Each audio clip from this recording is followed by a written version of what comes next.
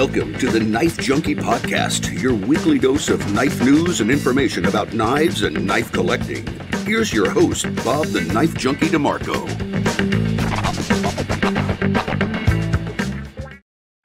Welcome to the Knife Junkie Podcast. I'm your host, Bob DeMarco.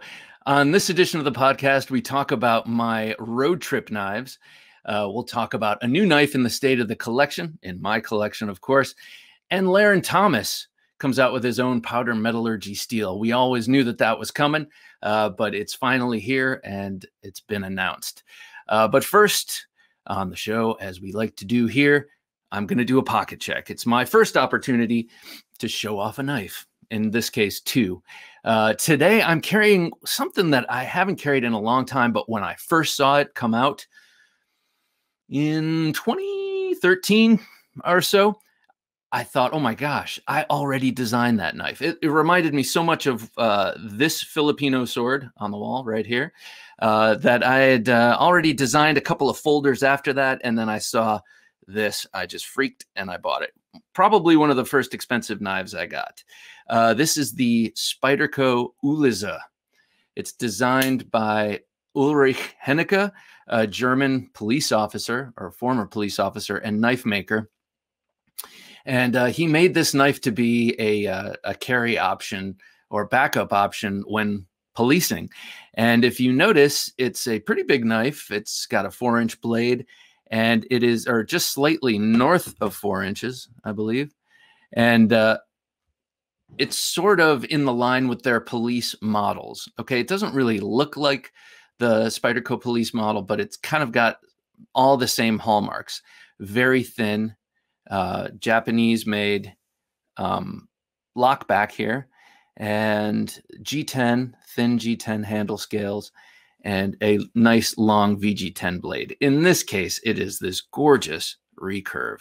I am a huge fan of the recurve, as you know, and I also like a pistol grip orientation on a blade because it on a knife because it makes thrusting easier uh, you know, it puts the point in line with your arm without having to torque your wrist in a in a special way to get that point into where you want to go. So this knife uh, held a lot of fascination for me when it first came out, and uh, got it, carried it quite a bit, and it's kind of been sitting in the in the drawer for a while, uh, unnoticed. And I just noticed it last night, and I decided i need to carry this knife again. By the way, it is hollow ground, and uh, you know, who doesn't love a hollow ground recurve? So Spyderco Ulize is my is my main carry today. And then another one that I rarely carry, if ever, uh, but this also caught my eye. You know, I've been away for a week, hadn't looked at my knife collection, and then opened it up, and it was like having a brand new collection. Uh, so today I'm going to carry this also. This is my SOG Terminus XR. This is the Knife Rights edition. I got this last year when I when the Knife Junkie channel donated uh, some money to the Ultimate Steel um, fundraising and drawing event. This is a super sharp knife. I love, and I'll say that again. I love this clip point shape.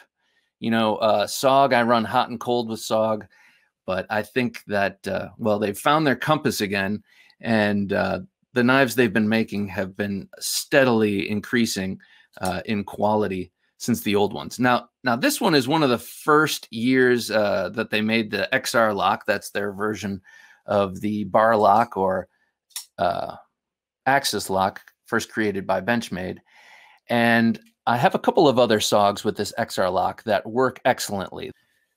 This is the first model that they put this uh, XR lock on, and they seemed to uh, well they worked it out over the next couple of years.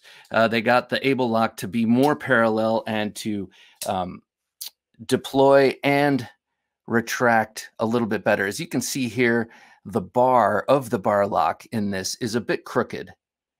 Um, so the action isn't as good as some of the later xr locks but in any case this is a great little knife and uh, it has some sentimental value with that Knife Rights uh, logo on it. And uh, today I have some boxes to cut up, some work I didn't do before we left on vacation. And so I have to get to that today. And I've never really used this knife, so I'm going to see how this works out. hopefully it doesn't rub off that uh, emblem, uh, that uh, Knife Rights logo. If it does, well, I'm gonna I'm gonna stop using it. But that is my carry for today: the Spyderco Ulize and the SOG Terminus XR, two excellent and overlooked knives in my collection. Speaking of knives, which is what we do here, uh, I want to mention that this coming Thursday, which is tomorrow night, uh, we have Thursday Night Knives. During Thursday Night Knives, we will have the Gentleman Junkie giveaway for the month of April. And this month, I've been talking about it quite a bit. Uh, we are giving away the Kubey Raven, this beautiful, beautiful knife that uh, Dave, this old sword blade reviews, who we just interviewed, uh, donated to the channel. Um, I'm a huge fan of this knife, only having had it in hand for a couple of weeks now. It is, man, it just punches way out of its weight class and price point.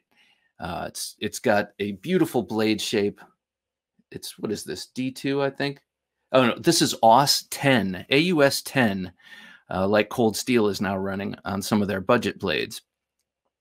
Not budget, high value blades. Their budget stuff is even lower than that.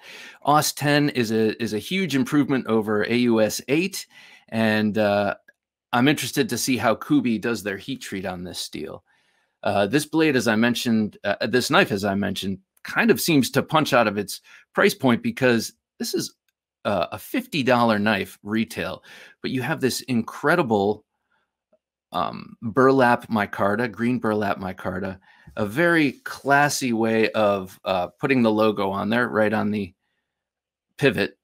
You have a sterile blade on this side, and then you have the Jelly Jerry maker's mark on this side. Jelly Jerry is a designer uh, who we've seen a lot of his designs come out through Tucson Knife uh, Company. This knife also has a sculpted pocket clip and a very, very robust, um, ow, damn, close that on my pinky, very robust liner lock and thick liners that have some weight reduction added. So this is going to be the Gentleman Junkie giveaway knife for April. We'll be doing that on Thursday Night Knives uh, on uh, this week. And just look at that blade.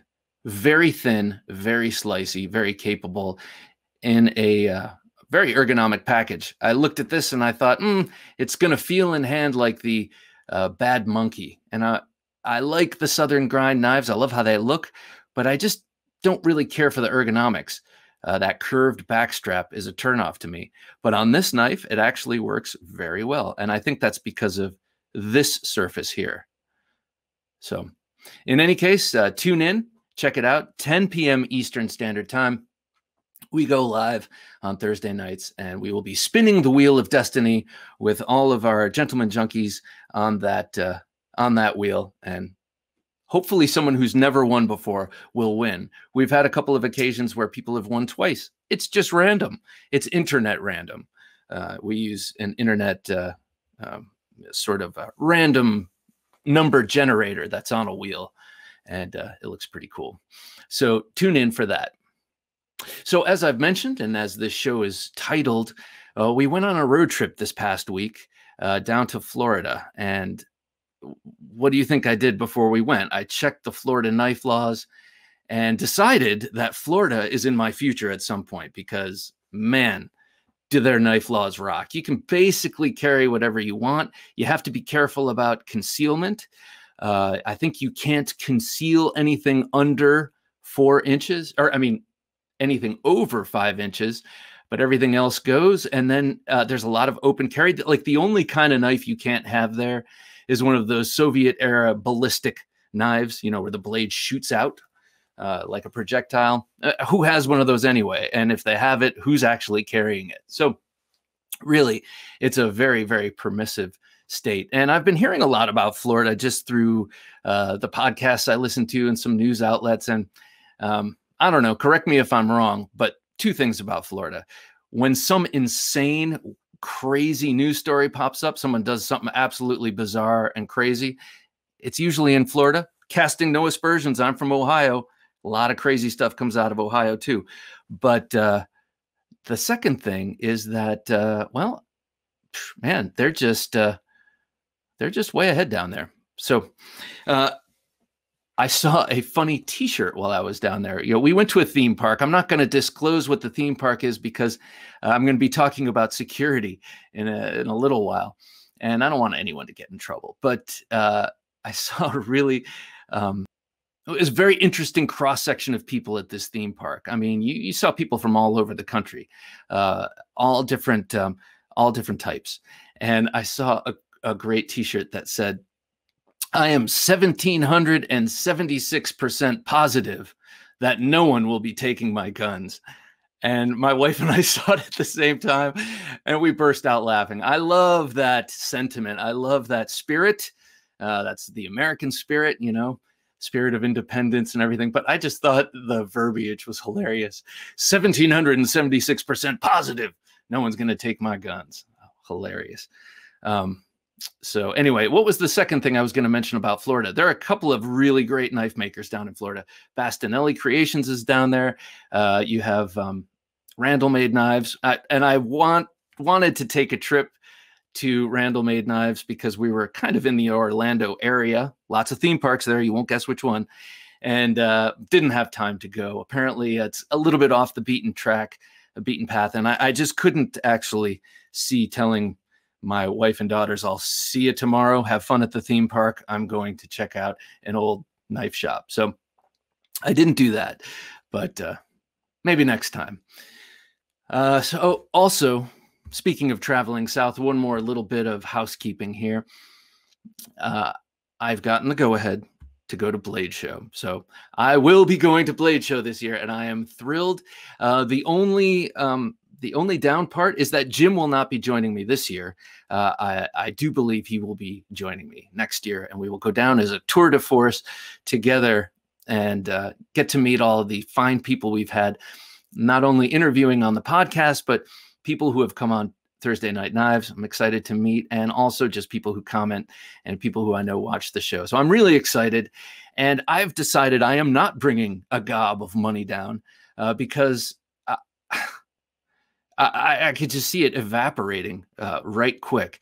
And um, so I'm just going to go down and talk to some people, meet some people, press the flesh, pass my card around, um, and just really uh, get to handle some knives I wouldn't have a chance to handle otherwise.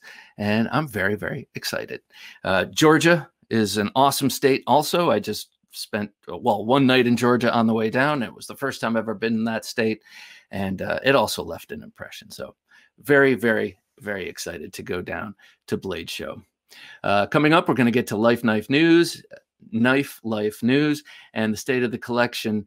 Uh, but first, be sure to like, comment, and subscribe, and hit that notification bell, and share this video if you're watching it on YouTube. Uh, also, if you're out there, check out our other shows. We have knife review videos. We have Thursday Night Knives, our, our Thursday night live stream, and our knife uh, junkie town halls where you get to meet and talk to knife personalities and makers. Uh, so that's always a big fun thing. Also, if you're interested in listening to this podcast elsewhere, you can find it on the podcatchers and uh, tell a friend about that. But be sure it's a knife friend. They'll say, Why are you telling me about something called the Knife Junkie Podcast? And lastly, if you want to support the show, you can do so on Patreon. Uh, the quickest way to get there is by going to theknifejunkie.com slash Patreon. Uh, in case you missed it, that's theknifejunkie.com slash Patreon. You're listening to the Knife Junkie podcast. And now here's the Knife Junkie with the Knife Life News. So we knew it would happen ever since we spoke to Larrin Thomas on the Knife Junkie podcast, episode number 13. Uh, but I just saw it released on uh, Knife News that he has created his own powder metallurgy steel. And if you listened to the the podcast with Larrin Thomas, or if you uh, follow him, you know that this man knows steel. His father uh, was a famous, is a famous Damascus maker.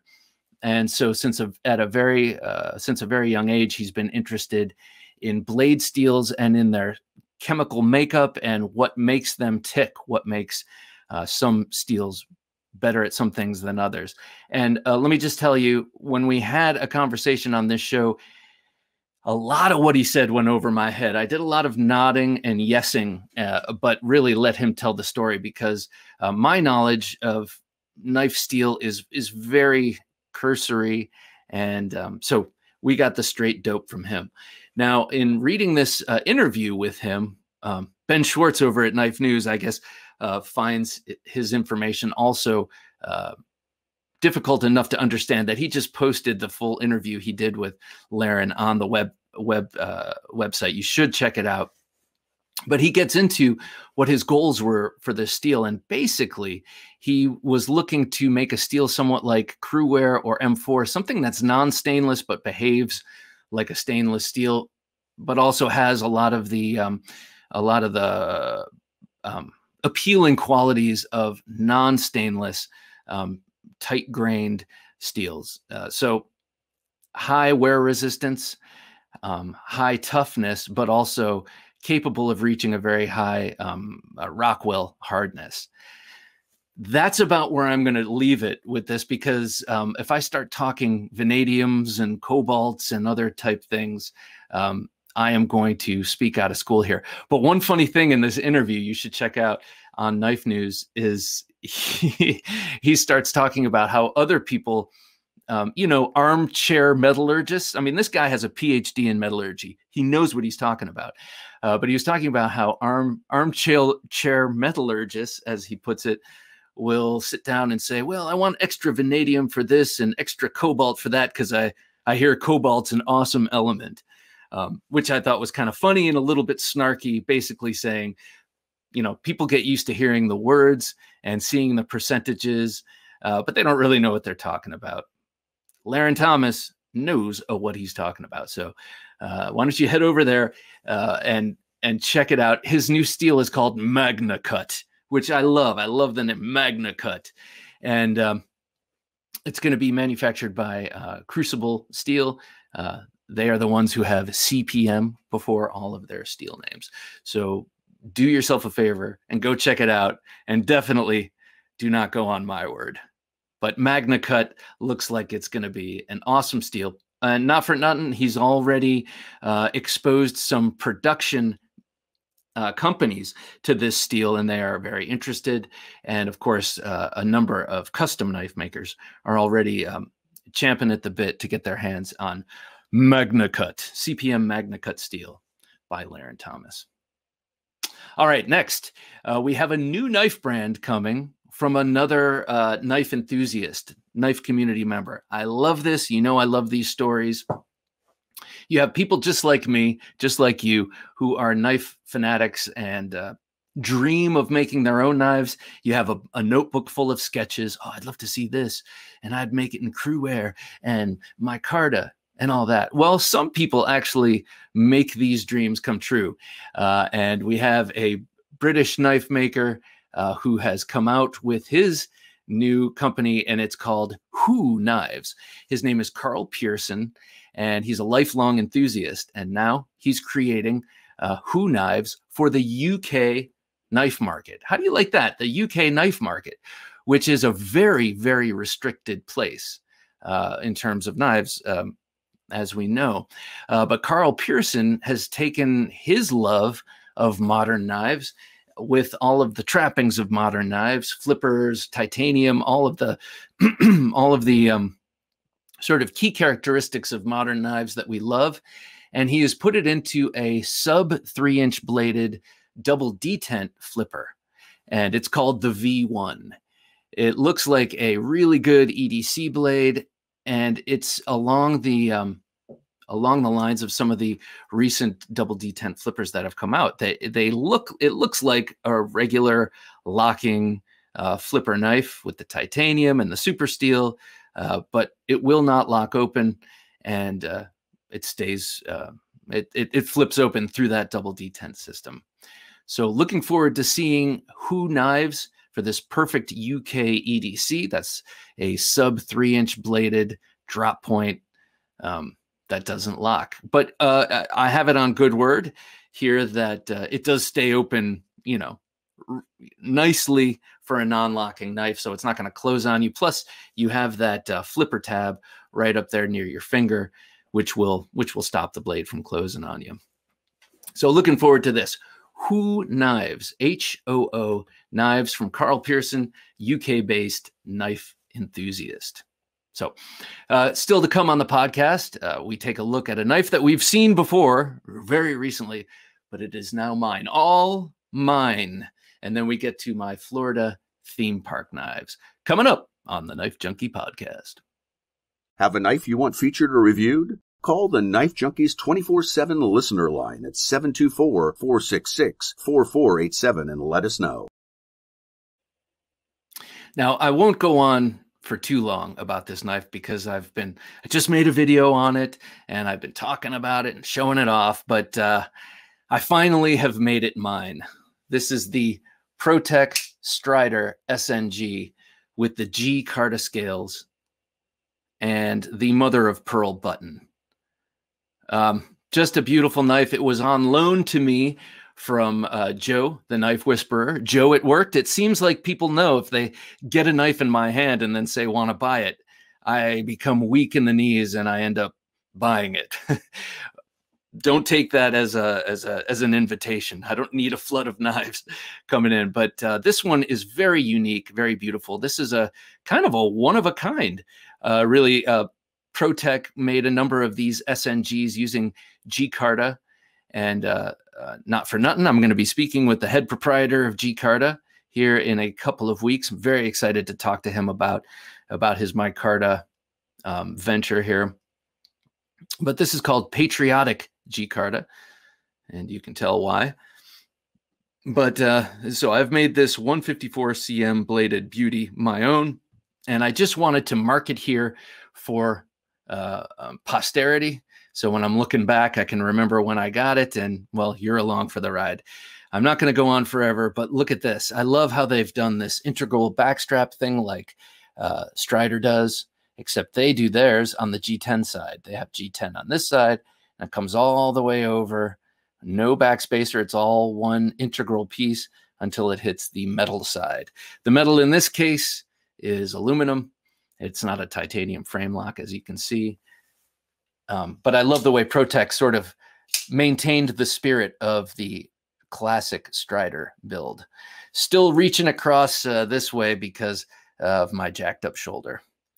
But this thing not only opens and snaps open with authority, uh, but it closes very easily. I'm not sure how they do that, how they make it come out so hard, but go back in so easily. So this is this is it for the state of the collection this week. Um, but uh, it is a gorgeous one of a kind, and I'm thrilled to have it. Now the next story is kind of like an extended state of the collection here because, um, well, it's a a story of a road trip. A family takes a road trip and the father is obsessed with knives and he can't leave home without them because he thinks of all of these possible uh, scenarios where he will need a wide variety of knives. That man is me. And uh, I'm going to tell you and show you what I brought with me. It's probably overkill, but each knife that I brought had a reason. And um, uh, and some of them had a bit of a funny story. Okay, so I go to a Florida theme park in the Orlando area. There are a number of them. So uh, I'll give you a hint. Wasn't Disney. How's that? Thank God. I'm I'm told that that is a moral imperative. At some point, if you have children, you got to go there. Uh, I've just been sort of uh, pushing pushing back, and so I know it'll happen someday. Um, but I rue that day. Uh, no, I'm just kidding. Anything to be with my honeys will do. Okay, so my first knife is the Microtech SOCOM Elite. The Microtech SOCOM Elite, ever since I got it, has been my official road trip knife. Why, you ask? It's because of the glass breaker. This was the first folder I ever got with a glass breaker, and um, it has remained my well, it has remained my road trip knife. I have several others with glass breakers, but some you can't really legally carry through some states, and others are just unwieldy this is just the perfect road trip knife. And I would venture to say almost the perfect knife in general. except for this. it is tip down only in this case, which I've never quite understood, but there you have it. Um, so this knife rode in the pocket on the way down. Uh, because I dislocated my shoulder, my wife uh, insisted on driving, and uh, her car is a lot nicer than mine and is in kept kept in better shape and is kept up at the shop much better than mine. So we decided to go with her car anyway. And she is a stubborn woman. Uh, one of the things I love about her. And so she insisted on driving the entire way, even though at that point I could uh, I could deal with it. For us, it was a nearly 12 hour drive. So we split it up and stopped in Georgia. Uh, but this was riding in my pocket the whole time and getting a fair amount of, not very easy with my left hand, getting a fair amount of uh, use, cutting cutting open uh, packages in the car of food. Uh, we got some fast food. And so, of course, I'm like, honey, would you like me to cut your hamburger in half? Sure. Oh, got just the thing. So it got a lot of that sort of gratuitous use, um, but just a, a, a, a, a stolid partner in, in, a, in a road trip scenario. Also, it's light. And uh, with this clip and the way it rides, um, it's actually, uh, dare I say, a delightful tip down knife. So this got a lot of carry and use. And at the same time, so I'm going to I'm going to set this over here. At the same time, I was carrying this on that first day. I was carrying my beloved Kopis Elvia, Kopis Designs Blade Works Elvia. This is a knife you've heard me talk about a lot in recent days. Uh, it carries so nicely. It's very, very light. And you have this uh, great sheath this little hook on the sheath is perfect for dropping in the pocket. And when you pull it out of the pocket, this snags on the snags on the pocket. And uh, if you're lucky, stays in the pocket and you have a knife in hand. Um, oftentimes when I attempt that maneuver, the sheath goes flying out.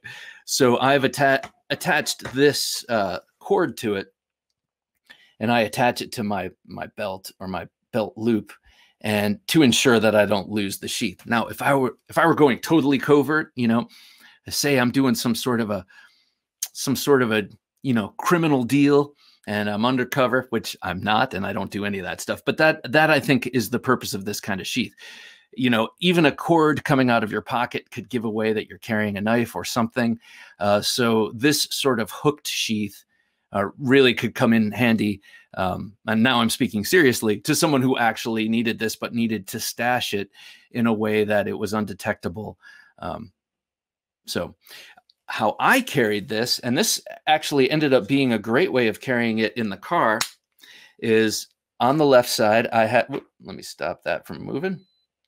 On the left side, I have this uh, det cord attached to my belt and instead of dropping it in my pocket, I had it, uh, I had the cord just snaked around uh, in the waistband. And then this just sits nicely uh, behind the button and behind the belt of my pants. So ima- imagine this is, is the, these, uh, this cloth here is a pair of jeans and, uh, and the knife just kind of rides just like this. It sits nicely there. You know that if it pops out, it'll be on the cord. You're not going to lose it altogether. But this knife is so light and so slender uh, that it just just sits in the in the waistband just nicely like that. So that's how I had it, just in case I needed it for you know whatever purpose.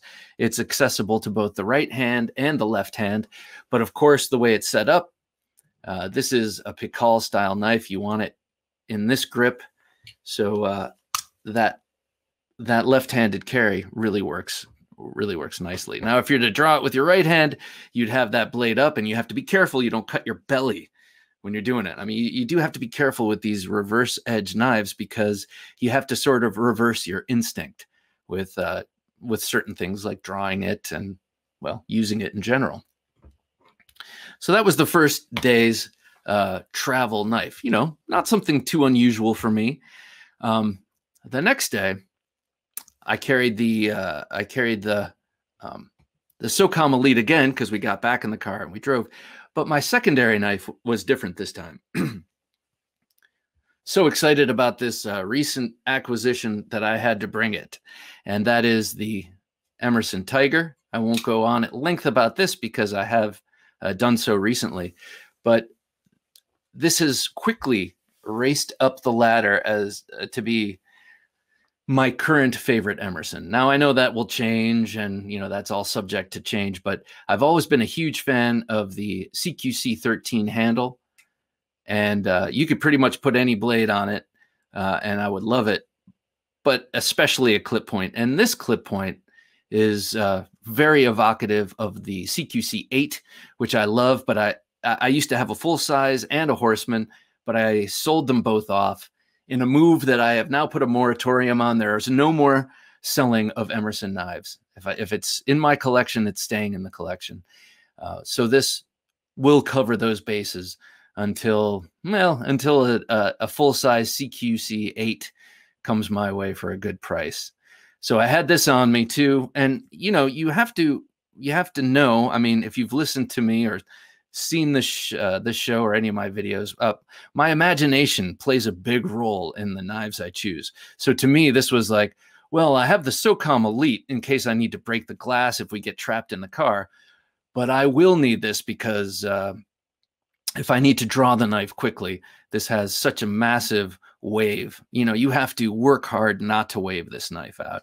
So when you're drawing this knife and you don't want to wave it, you have to sort of grab it like this so that the blade is not uh, is not coming out. And if you can't see what I was just saying, you're kind of covering the the tail end of the knife with your whole hand so that that blade does not come out. So that was uh, that was day two and that was also a uh, a knife I carried in Georgia, along with. Now I didn't check the Georgia knife laws, which was a mistake uh, because uh, because of what I carried on me in Georgia, and and who knows? Hopefully, this worked. Next time I go to Georgia, which will be Blade Show, I will be sure to check the laws. Uh, but this is also another recent acquisition that I'm very pleased with, and that carries so well for a nice five inch um, fixed blade knife. This is the Fred Perrin designed Spyderco Street Bowie with the cognitive dissonance pink and teal uh, cord here, fob, uh, which really aids in drawing this knife. I carry it in the waistband, uh, right about three, three o'clock, three thirty, if you will, and uh, I carry it so that it comes out. You grab it uh, like this, edge forward, and you can pull it out like this and have it in reverse grip. And uh, so I added this cord here just in case my hand is slipping off of this somewhat short handle. And I think the short roundedness of this is what makes it such a great concealed uh, knife or, you know, knife that you wear in the waistband so it sticks, it doesn't stick in your ribs when you're sitting down and stuff. Uh, but that being said, it is a short handle and you could overshoot and miss it. So I put these two little knots on this cord here so that I could always be sure to grab it uh, and and make it uh, make it work. So, yeah, I did carry this combination, and uh, I, like I said, I'm gonna have to check those laws, make sure that I wasn't doing anything too bad, and that I don't uh, repeat the mistake in the future if I did. But I felt confident and secure being in an area that I didn't know with these two two knives. Okay, so this is where it gets interesting. Uh, so far, you've seen me just talk about four knives I've talked about in the past, and uh, you know, just carrying them. But we get to the theme park, and the next day we go into the theme park, and I say, "Baby, no need to carry that in your bag. I'll carry my backpack. We can just put all of our stuff in my in my backpack, and I'll hump it around." all day. You know, that was me being generous. no, not generous. That was me being a dad. You know, I'll carry all the stuff. That's cool. I don't need my little girls fettered with uh, bottles of water and and all that. So, but I had an ulterior motive. Uh, I wanted to be able to have my first aid kit, my uh, my all my little special survival stuff on me. Uh, least of which are the knives. Um, but I knew that we were going to be going through some sort of security. So uh, so I kept it light. I didn't bring the big fixed blade. I didn't uh, I didn't uh, bring anything too egregious. But uh, my wife was like, "Yeah, if you if you need to bring in a pocket knife, I understand. Just drop it in the bottom of the bag. Uh, you know, they're not going to dig through it. They've got a they've got a line of people to look through." So I was like, "Okay, that's if if if you know if Mrs. Knife Junkie says that that's cool, that's cool because if she didn't, and then I got busted trying to bring a knife in, there'd be big trouble." So on that first day, I took uh, I took the I took the um, uh, SOCOM Elite, dropped it in the very bottom of my bag, and then removed almost all the knives from my bag, uh, except for this one. This one made it through the check, and I'm pretty sure uh, this was seen. Uh, it was uh, the the top little uh, top little zipper pouch was unzippered, and uh, she was using a little poker to poke around and I I saw it. I'm not sure if she saw and recognized what this is. This is a Swiss Army knife, as you can see, a Victorinox. Now, I don't know what model this is. My brother gave it to me. I think it's a Mountaineer. I think it's a Mountaineer. It has the file on it. Um, and the only thing it doesn't have is that grocery bag hook thing on the bottom. Uh, which would make it a Mountaineer. So I really, frankly, don't know what model this is. I was poring over uh, Blade HQ and the Victorinox site, and I, I couldn't find this exact knife. Uh, I'm not sure if it was a special order for whatever company this was, uh, but this is this is always in my backpack. This is an awesome Swiss Army knife, and uh, uh, it was a gift that my brother gave me when he sold me his Fender Precision bass, and uh, this was left in the case. And I very coyly said, "Hey Vic, uh, you accidentally left a knife in the base case." He said, "That's yours now, Bob." So I said, "Hey, if I must." And so forevermore, it's been riding in my riding in my uh, thing. So this made it through, which I was very happy happy to have on me because it is a do all kind of knife. You know, it's got the awesome scissors. Figured if we were buying hats and sunglasses and that kind of stuff, it'd be nicer to just take out the little scissors and clip the things than to be whipping out the SOCOM Elite to cut the uh, to cut the um, to cut those tags. SOCOM Elite ended up coming out going in the waistband. I didn't want people to see the clip, uh, but that rode very nicely in the waistband. Okay, so that made it through the first day, as did the next two. Well, you know what? So two others made it through that day. The second day, we show up to the uh, security booth, and I'm like, hmm, uh, this doesn't look as good as it did yesterday. Um, we had one guy that looked like he just got back, you know, just got out of the military, and another guy who looked like he got out of the military like 30 years ago, and they were doing security. And I was like, hmm, this this might not go as well as yesterday, but let's let's just see. So we go up, and I put the backpack down. And my first mistake, or one of my first mistakes, was that my backpack is black tactical 511, you know, MOLLE webbing all over it. And uh, it's a great backpack, uh, but it looks like the kind of backpack a guy who's trying to sneak knives into a theme park would carry. So I put it down on the on the on the bag and just sort of like make small talk. Hey man, how's it going? How's it? Is it crowded today? How do the rides look? Is it going to be a lot of wait times? You know, uh, trying to be kind of a babe in the woods. And the guy's like, yeah, yeah, mm-hmm. And he unzips the bag, and the first thing he sees is this. These are my work keys. They live in my backpack. I forgot I even had them. This guy keys into my Swiss, my Victorinox Classic with this giant and menacing blade on it. And he's like, You're not allowed to bring that in here. And I was like, Oh God, this is not going to go well. If, if, if he's, if he's reacting this way to my little unthreatening clear blue plastic Victorinox Classic, uh, I, I'm in trouble. And then he sees this one and he's like, okay, you can't bring this one in either. And he and then uh, just as a tour i think he wanted to see what else he was going to find. I mean because i should have just turned around right there. Be right back. Uh, and then he gets to this.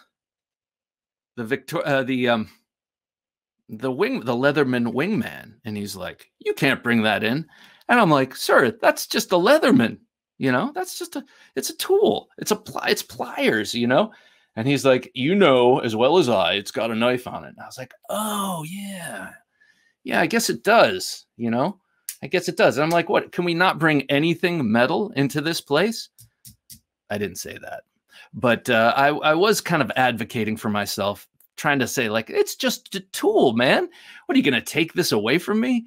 And the guy said, well, you can go back to the hotel and put it there or stash it in your car, or you can leave it here, but you won't get it back. And I laughed at him. I was like, Are you serious, man? You think I'm going to leave it here? This is not a gift that I intended to give to you.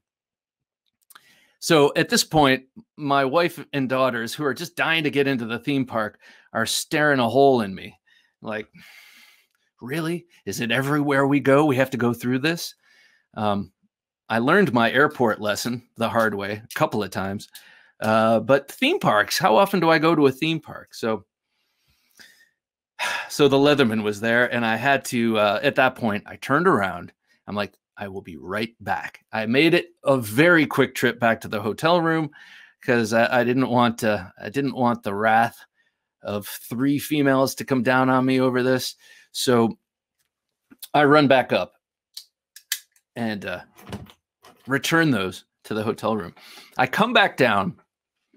I'm like, okay, all the knives are expunged from this bag. I, I removed the SOCOM Elite. It's like, you know, I, I don't want them to find this. Like on a second search, then I'm really up uh, up the creek. It's going to look like I'm intending to do something bad. And uh, they're going to take it. And this guy's going to be like, honey, look at what I got today. I got a SOCOM Elite. Uh, so dropped everything off, go back down with my bag the guy does a it starts a very thorough search again. And this bag has a lot of pockets. I'm like this is not your usual like hmm okay go ahead kind of search that we experienced the day before. This guy is unzipping every i think he was admiring the bag. Like i got to get one of these backpacks. This is pretty awesome. And he's going through everything and i'm like oh no. He pulls this out. This is my little maxpedition um safety kit. I keep it in the I keep it in the in my bag. It's got a screwdriver here, but it's got all this stuff I might need: a lighter, flashlight, a spoon, a first aid kit. It had this. He missed this. This is the uh, um, Leatherman squirt that I forgot was in there. And uh, I'm like, oh, don't, don't, don't, don't, don't. And he looked right at it and didn't say anything and then he was having a hard time unzipping it because luckily I have jam packed this thing with stuff and and there was a line growing and I'm growing self-conscious and I think he was too. I was like we got to move this line along. And I had forgotten that in there in that survival kit I keep this little Ka-Bar Dozier mini Ka-Bar Dozier knife. He didn't see it thank the heavens above because I'd really be in trouble. I'd still be in the doghouse right now. Um, so he zipped it back up and threw it in. He's like, ah, survival kit. We all need one of these. And I, I was like, you're right, sir. You never know what's going to happen. And I have first aid in there in case I have to administer aid to um, one of my family members or or my fellow man, because that's the kind of swell guy I am. He zips it up, throws it in the bag, and we walk by. And I got to say, I breathed a sigh of relief because, you know, I think two strikes, they'd be like, what are you trying to do here? So, very unintentionally, this sub three inch knife was my carry that day. Took it out, uh, put it in the waistband so no one would see the clip, and carried this thing around all day. And uh, I don't think I used it for anything, but it was there and it made me feel secure. This is this is the state I have come to. Um, if I don't have a knife on me, I feel naked. It's it's that old um, cliche. I really do. I, I I feel unprepared without some sort of cutting edge on me. And and as I mentioned, I didn't use it for anything. It's not like I have all these cutting tasks uh, coming my way all the time. It's just knowing that it's there makes a huge difference. So thank God this guy was not, you know, thorough to the to the bone. He missed this, and I got it through. And I, I was in the theme park with a knife, not intending to do anything bad. And and this guy was a great security guy, and the and the lady before him was awesome. I'm not trying to get anyone in trouble. That's why I'm not mentioning the theme park. Uh, but I was glad I had this on me. This is a great little knife. I don't know if you have one of these, if you've seen these. I, I learned about this knife from Nutnfancy years ago. This was a little survival kit knife for him. It's a great little lockback. It's just got FRN handles, no liners. It's light as the day is long. It's got jimping right here on the blade. Really, really excellent jimping. Thumb stud. Oh, let me get some focus there. Thumb stud uh, open just on one side, which is kind of interesting to me. Sort of an antiquated thing. And uh, and a really nice AUS 8A blade uh, blade. It's made in Taiwan, and I have a I have good experience with knives made in Taiwan. They they usually end up being excellent. So I was happy to have this thing on me. I had the little this little uh, 420 cord, 420 bro. I think this is 420, 320 cord uh, hanging out the side of my waist. had it covered with the shirt, easy access in case I needed it, which I didn't. Uh, so uh, that's what I had. I had one more because I'm not going to go all the way out of state. I'm not going to travel through one, two, three. I'm not going to travel through three states to get to a fourth and not have something substantial on me. So I had all these. This is good. This is good. But what happens if, mm, say, there is some sort of a car accident, heaven forbid, and uh, I have to break us out with the SOCOM Elite, and then we find ourselves in the boggy, swampy woods of Georgia or South Carolina? What am I going to have on my belt? You know, I know I'm going to have in the waistband, I'll have the Spyderco, I'll have my Emerson, I'll have my LV, I'll have all the other stuff, you know, on me in case those needs arise. But what about a real knife? What, what am I going to do for a real knife? So I brought an old favorite. I brought the Tops Prather War Bowie, riding in the best Kydex sheath I've ever made, by the way. Um, so I figured if anything real came up, anything that I would need a, a real big honker of a knife, this would do the trick. Uh, as you probably imagined, I, I vacillated on what the big knife would be. I knew it would be a Bowie, uh, but I always bring a big knife when I travel. I used to always travel with the um, with my cold steel Tanto, and then that turned into the SOG Super Bowie. And then in recent years, it's been um, either my Trailmaster, my Vaquero, or this. And I figured the Trailmaster and the Vaquero were just a little bit too much, just in length. So I uh, I opted for the Prather War Bowie. And having this quarter inch thick slab of steel in my bag, well, it was in the car. It stayed in the car most of the time. Just made me feel like it's all going to be okay. If I need a big knife, I got my bases covered. Um, one thing I love about this knife, besides everything, is uh, well, I love that beautiful long swedge. Kind of wish it was sharpened, but that's not what this is about. Um, this is more of an all arounder. So having that sharpened would uh, very much reduce its usefulness as a woodland knife or a or a or a um, like a wood processing knife or whatever. Uh, but something I love about this knife that I also love about the Fred Perrin design and most of Fred Perrin's designs. Now, if you don't know who Fred Perrin is, he's a, a former French commando, martial arts champion, Kali guy who designs and makes knives of his own. And most of them have this sort of um, feature here. Uh, and it's in for him inspired by French French knives, French uh, fighting knives, and French belt knives, which also incidentally look a lot like French cooking knives. And that is a handle um, coming, uh, narrowing and terminating at the blade and using the blade itself as the guard. Um, so that you don't run up onto the onto the blade or you know whatever you need a knife guard for but instead of putting uh, quillions on there uh, it's the blade itself that is the guard so that's one thing I've always loved about this Prather War Bowie, Bowie Bowie, and um, not for nothing, but this also has the classic tops treatment. You've got the beautiful. Uh, this is linen micarta. You can tell it's linen because of the tight weave. Canvas has the thicker weave, and uh, they have their uh, Rocky Mountain tread on here. This is a, a really great texture.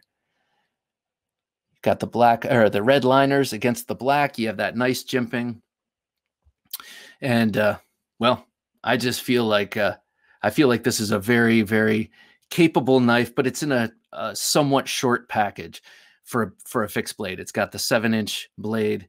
It's sort of uh, it sort of in that realm of combat classic uh, in terms of its dimensions. Is this seven inch? Hang on yeah, seven and a half inch blade. So yeah, it's right around the the Ka-Bar length and the and the um and the Randall made Model One length, and uh, but just has a robustness uh, that I wouldn't mind thrashing on. Now I know what you're thinking. You're thinking, Bob, that's 1095 steel. Why would you bring 1095 steel by choice down into such a humid area like like Georgia and Florida and those uh, and those areas? Well, I say I I have trust in that black traction coating that Tops put on their puts on their 1095 steel, and um, you know experienced no rust on the edge for the short period of time I was there. Of course, it is springtime, wasn't very humid. Uh, we had beautiful weather, but in any case, it did not uh, it did not affect the knife at all. So let me know. Have you ever had an experience like this? Um, you show up to a concert. I went to a Tool concert uh, during their lat- Lateralus tour in like 2002 in Connecticut and had a knife on me like an idiot. I mean, come on. I, I don't go to that many concerts, but I should have known. And uh, ran into the same thing. Had to stash the knife in a in a in a planter. Got it back. Same thing uh, with uh, art museums. Um, sometimes I'll roll up and I'm like, I'm not sure if they're checking, and they are. And so got to go back outside, find a planter or something, and kind of stick it in. I've done that plenty of times with the um, with the uh, what is uh, with the pink broken skull that has seen a few a few bits of public dirt. Um, but thankfully, it's always been there when I've returned to get it. So, have you had this situation? I know uh, when Dr. Frunke was on the show, he had a great story, a heartbreaking story of going to the Staten Island Ferry uh, in New York to uh, to go out and see the Statue of Liberty. Uh, if you're going to New York, I don't know if they still do this, but you can get a free trip around uh, near the Statue of Liberty just by getting on the ferry to Staten Island. Um, but anyway, he did that, and he had a uh, Peter Rassenti Nirvana on him, and he stashed it. And when he came back, it was gone. Heartbreaking story. I know a lot of people gave him a lot of crap for that, but I admired him telling it because it's the kind of thing we all do, is it not? Don't don't we do stupid knife things sometimes? I used to feature a. Uh, um, I used to ask the question of people on the show um, to to tell a stupid knife story, and I've sort of trailed off with that. Kind of have forgotten about that. Maybe I'll get back to that. But I have a lot of them, and uh, some of them have to do with with that uh, sort of stashing of knives. So let me just wrap this episode up by saying um, I don't condone bringing knives into areas you're you're not supposed to. Um, I know what's in my heart. I know that I intend no ill will towards anyone or any property or anything. And my carrying a knife into a into a theme park where I'm not supposed to have it is not an act of disobedience. Uh, I guess it is, but it's not a. I'm not doing it to like thumb my nose at the man or anything like that. I, I really do feel like I should be able to have a knife on me in case something comes up where I need it. Um, but man, uh, next time I'll do it maybe a little a little bit better, a little more discreetly, and uh, and and maybe with knives that are slightly less menacing. You know, uh, you uh, the pink broken skull. That's you know the pink knives, the orange happy blue looking knives, the the blue handled knives, that kind of thing might go over better but then again, this little blue handled knife didn't go over well. I cannot believe that I was ejected for this little thing. So, anyway, I will leave it there for this episode of the Knife Junkie podcast. Check out all of our other uh, podcasts and great interviews. And when I say great interview, I really mean the great people we interview. I'm not trying to pat myself on the back for my interviewing skills. Um, but I am saying we talked to some outstanding people on this show who have taught me so much about this uh, knife obsession we all have. So go back in the backlog, check it out. As I mentioned earlier, we had Larrin Thomas on the show. Uh, he was episode number 13. What an interesting guy. I kind of just let him talk because I don't, uh, chemistry. I didn't get it in high school, still don't get it. Even when I, uh, even when I, even when I put it in the context of knives, it's still over my head. So check out our backlog of, of episodes and uh, let me know in the comments below if you've had any sort of experience like this and how you've uh, how you've dealt with it. Um, we had a great trip. Thank God we returned safely. And uh, well, I guess I'll leave it right there. Thanks for watching the Knife Junkie podcast and listening. And we will check you out here next week. Until then, I'm Bob DeMarco saying, don't take dull for an answer.